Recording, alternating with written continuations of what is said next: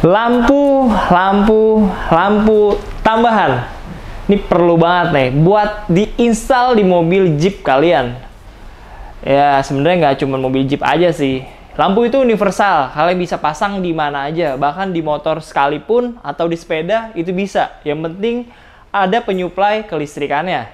Nih guys, ngomong-ngomong soal lampu, akhir-akhir ini di Jakarta khususnya dan di tempat kalian mungkin ya, lagi musim hujan nih guys. Hujannya juga intensitasnya nggak main-main. Itu dari sedang sampai banyak banget nih, tinggi, intensitas tinggi nih.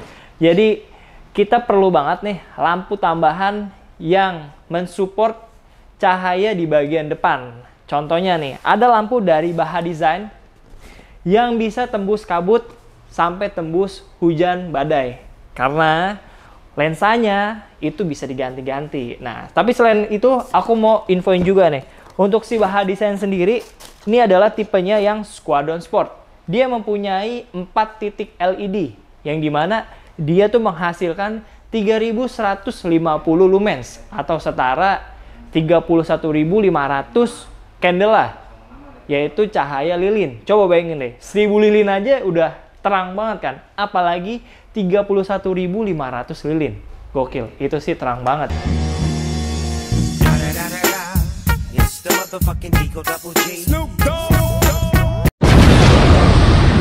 Dimensi. Ngomong-ngomong soal dimensi, ini tuh ukurannya 3,07 inch kali 3,07 inch. Jadi ini lampu yang dimensinya 3 kali 3 inch, kurang lebih ya.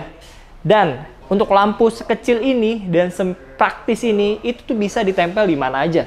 Mau di bagian bumper, mau di bagian pilar, mau di bagian atas roof rack juga bisa. Even itu ditaruh di samping atau di fender, itu juga bisa. Tergantung sama selera kalian yang anti mainstream. Nah, selain itu juga, dia ini sudah sertifikasi IP69. Ini di atasnya lagi nih, nggak cuma IP68, tapi ini IP69. Dan dia sudah memiliki sertifikasi IK10 compliant. Jadi di sana tuh di Amerika ada tes namanya kayak endurance test gitu, dibanting-banting, dipecahin, dia tetap nyala sesuai dengan fungsinya. Walaupun mungkin body-bodinya udah pada rusak, tapi fungsinya tetap dia menyala.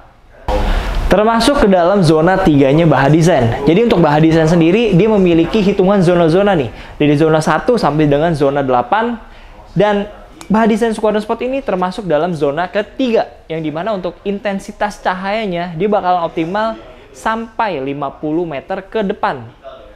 Dan jangan lupa nih, walaupun dia bentuknya flat gini, nggak ada sampingnya, tapi dia cahayanya tetap ada floatingnya guys. Untuk cahaya floatingnya itu ke depan dia sekitar 42 derajat. Dan untuk spot di titik tengahnya itu 9 derajat.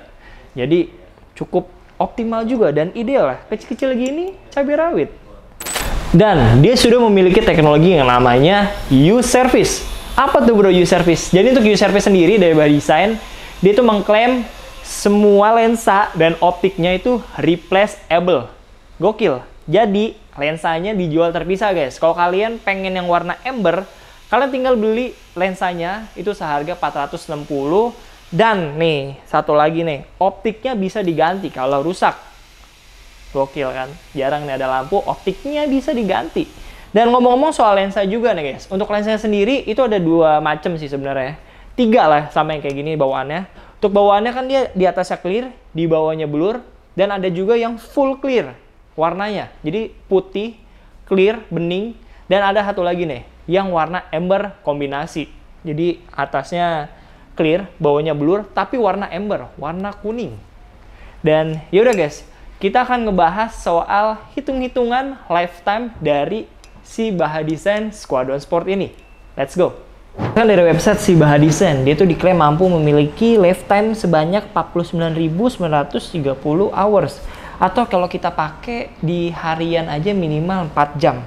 Itu bisa bertahan hingga 12.482,5 hari. Wow, panjang banget. Kalau misalkan dibagi dalam setahun, setahunnya kan 365. Berarti itu dia bisa bertahan hingga 34 tahun. Mobilnya aja kayaknya belum tentu sampai 34 tahun nih. Dan kalau misalkan dari harganya nih, harganya dia itu 4.750 berdasarkan marketplace yang ada di Tokopedia di tokonya Pioni Jeep yang udah official store. Kita bagi 34 tahun nih guys. Itu tuh setahunnya cuma 139 ribuan doang. Dan kalau misalkan kita bagi ke dalam bulan nih, 12, itu tuh cuma 12 ribu aja. Gokil, itu tuh murah banget. Lampu 12 ribu per bulan. Masa iya harus kita bagi lagi ke hari, bagi 30. Cuman 400 perak sehari. Murah banget lampunya. Dan ah, ini sih bener-bener worth it. Oke, okay, Sob Pionir. Jadi itu dia lampu dari Design Squadron Sport. Gimana? Worth it banget kan? 12.000 per bulan. Murah banget. Sehari. Berarti 400 perak doang. 400 perak lampu kayak gini kalian bisa punya. Ah, keren banget kan? Lifetime-nya 34 tahun. Semua bahan spesifikasi juga tadi aku udah sebutin. Dan gimana nih? Kalian udah mulai melirik desain sebagai lampu pilihan? Gimana? Kalau aku sih yes. Yaudah, DM Instagram aja buat tanya-tanya lagi lebih detail. Kalian bisa WhatsApp juga di 0822 11 101 101. Atau mau cek marketplace kita juga bisa. Official store ada di Tokopedia, Bibli, Bukalapak, Shopee. Dan yaudah, sampai jumpa di video berikutnya. Dan dadah.